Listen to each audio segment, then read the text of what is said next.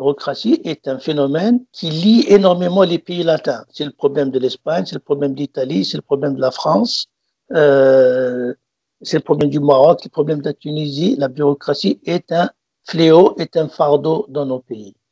C'est-à-dire qu'elle plombe, elle, elle, plombe, elle plombe toute initiative, elle, elle est plutôt. Oui, elle prend toute initiative, elle retarde toute initiative, elle dévie de ses, elle dévie, elle, elle, dévie de ses origines, les, les, les, trucs, les, initiatives, etc.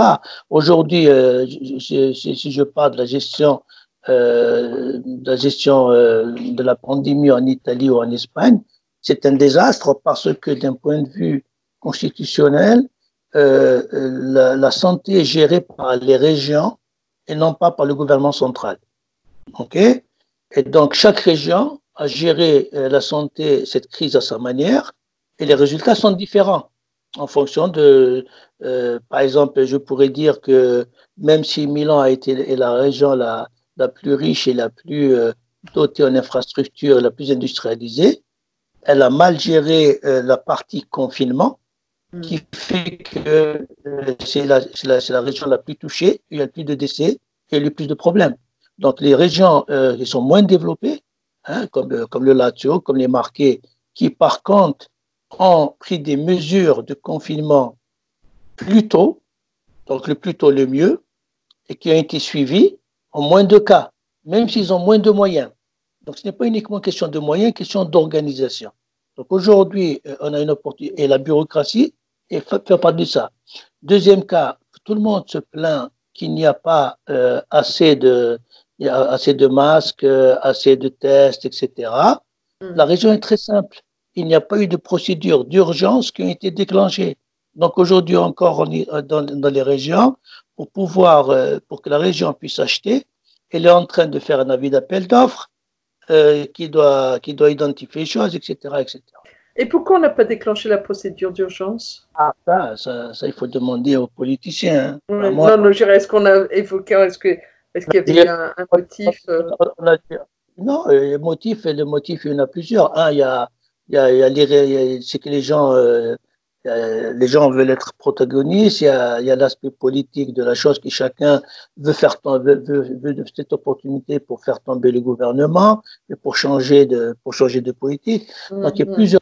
Il faut que ça, les régions sont gérées par des partis différents, par des partis qui sont en opposition, des partis qui sont gouvernement, avec des, avec des, euh, avec une gestion qui est différente de par la structure, s'ils sont de droite ou de gauche, euh, etc.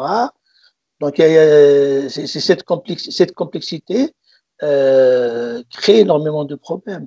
C'est ce, voilà, ce que tu évoquais sous le nom de bureaucratie ou le politique avant le. Oui, et avant... ensuite l'administration. Et ensuite l'administration, parce que l'administration euh, euh, assure l'interface entre le politique et, et, les, et, le, et, le, citoyen. Et cette administration, beaucoup de fois, ne sert qu'elle-même. Elle ne sert ni le politicien, ni le citoyen. Puis quand on taxe, quand on blâme l'administration souvent comme étant lente et, euh, en tout cas, oui, assez lente sur le process, c'est pas nouveau. Donc, il euh, n'y a, y a pas de fumée sans feu. Oui, mais et, et, et, là aussi, donc euh, aujourd'hui, le, le, le, problème est posé en, en, Italie, par exemple. On dit il faut, et on le dit depuis des années, hein, qu'il faut, qu'il faut, euh, qu'il faut simplifier les procédures, qu'il faut simplifier la bureaucratie, etc. Euh, par contre, la, la, bureaucratie vit de ça. La bureaucratie mmh. est un monde de corruption. Mmh. C'est-à-dire, euh, la bureaucratie euh, est un frein pour, euh, est un passe-droit, etc. Donc, la, la, bureaucratie est le vrai pouvoir en réalité. On peut appliquer cette, cette remarque à, à l'Algérie également? Bien sûr, bien sûr. Bien mmh. sûr, parce que c'est à travers, c'est à travers, c'est à travers les administrations qu'on gère, ne serait-ce que la partie publique ne serait-ce que tout ce qui est, ne serait-ce que tout ce qui est, tout ce qui est réglementation et tout ce qui est euh, commande publique. Ça ne gère pas la relation entre privés, non. Si tu vas chez un cafetier qu'il te vole, la, la, bureaucratie n'a rien à voir. Ce qui se passe en Algérie, par exemple, avec, euh, avec l'augmentation des prix euh, en temps de crise ou même durant le ramadan, etc.